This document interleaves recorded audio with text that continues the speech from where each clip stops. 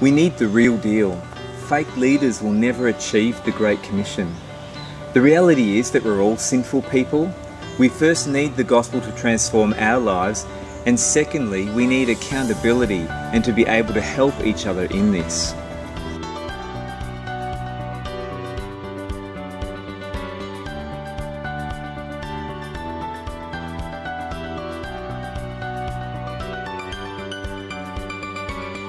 So Jesus had a strategy when he came to bring in the kingdom, and Matthew 4:19 says, "Come, follow me, and I will make you fishers of men."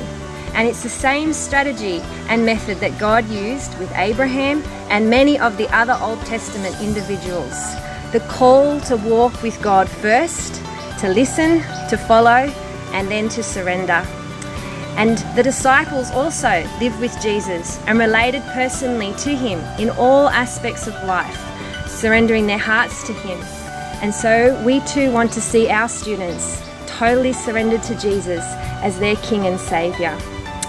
The relationship must be real and it must be built on solid biblical foundation without the pressure to showcase certificates and knowledge without a transformed life. We have failed if we have people graduate with Bible knowledge but with a false spirituality.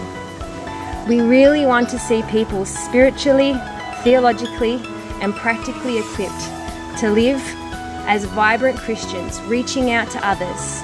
And we consider discipleship to be the strategy used to fulfill this vision.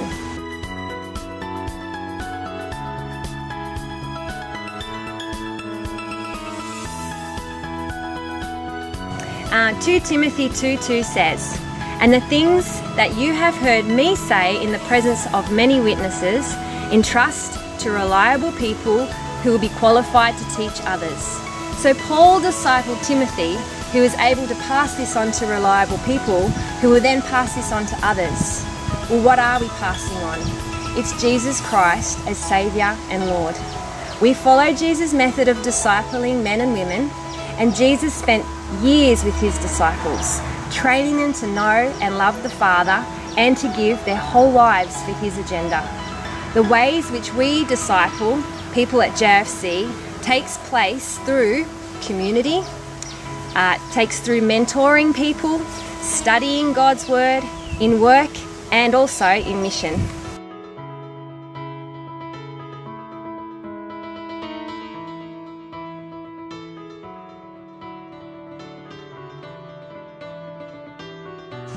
As staff at JOFC are walking genuinely with the Lord Jesus, being transformed by the Holy Spirit, this shows an example to the students who observe that their teachers really care about them, that they love them and interested in them, even outside the classroom.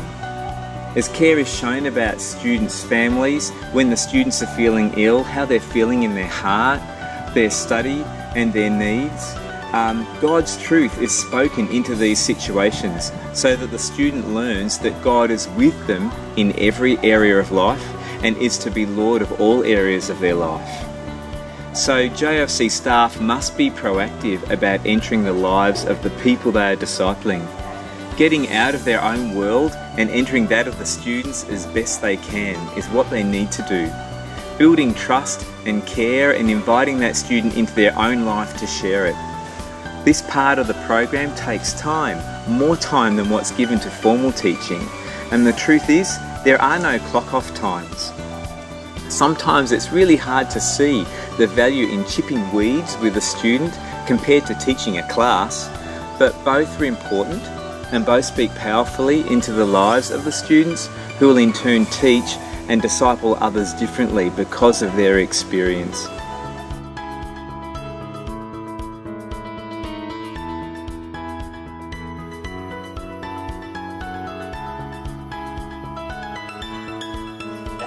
So, eight years in, there is a faithful core of students who have continued further in their theological studies and are actively involved in local churches, teaching and discipling, some spending months at a time teaching in Bible schools in other countries. Materials that students have studied at JFC and have had input into have been translated and now they're being taught to others. These students that go and teach have a clear understanding of what the gospel is. One study that explains the gospel and then teaches about a daily relationship with God has been used to train over 1,000 Lisu in three different countries.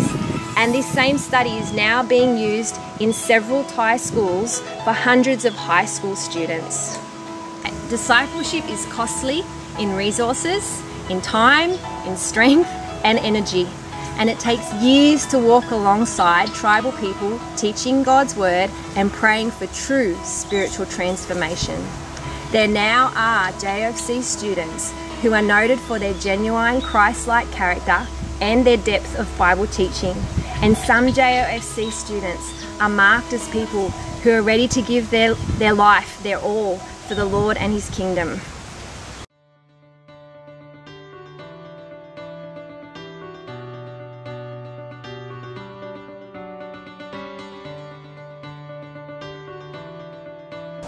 For the staff and the graduates of JOFC, there's been a personal response to the Lord's command to go and make disciples of all nations.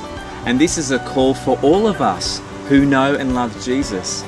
The question is, how do you do this personally in your own local context and then globally? How do you join with God's work among the nations? First, we have to ask ourselves Am I walking in surrendered relationship with the Lord Jesus? Am I being transformed in my mind by God's word and being conformed to the likeness of Jesus in my words and my actions and my character? Am I ready to follow Him? Maybe the Lord is calling you to partner in prayer, in support, or even in visiting JOFC and joining what He is doing.